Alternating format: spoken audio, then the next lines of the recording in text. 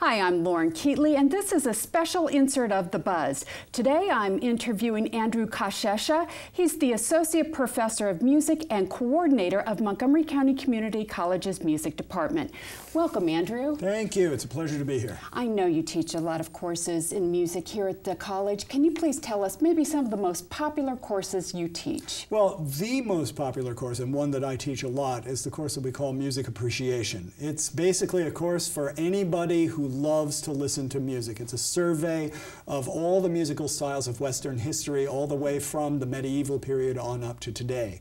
We have a lot of courses that are designed for anybody whose main way of enjoying music is by listening to it on a CD player. So we've got music appreciation, uh, Western music, uh, world music, uh, American music, uh, a whole bunch of stuff. So uh, those, those are the courses that really are the most popular.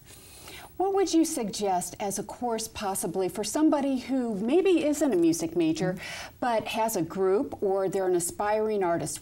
Tell me about a course that would benefit sure, them. Sure, sure, absolutely. None of the courses that we have here require that you be a music major. A lot of students really want to take the music courses that deal with technology, the music courses that are about recording, creating their own material. But in order to get into those courses, I strongly recommend that students consider taking the course that we call Music Fundamentals.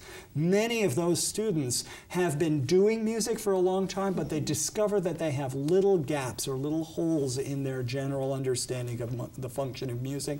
And that's the stuff that the music fundamentals really, really cleans up, really fills up for them. All right. Now, tell me about the two choirs that you help lead here at the college. I know that mm -hmm. you have some performances coming up.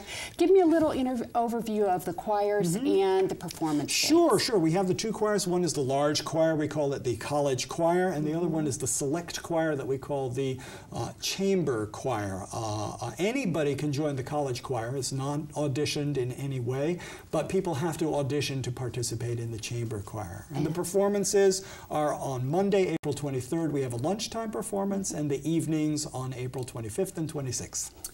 I've been talking with Andrew Kosciesza. He's the Associate Professor of Music and the Coordinator of Montgomery County Community College's Music Department. This is a special insert for The Buzz. I'm Lauren Keatley. Thank you for joining us. Now back to The Buzz.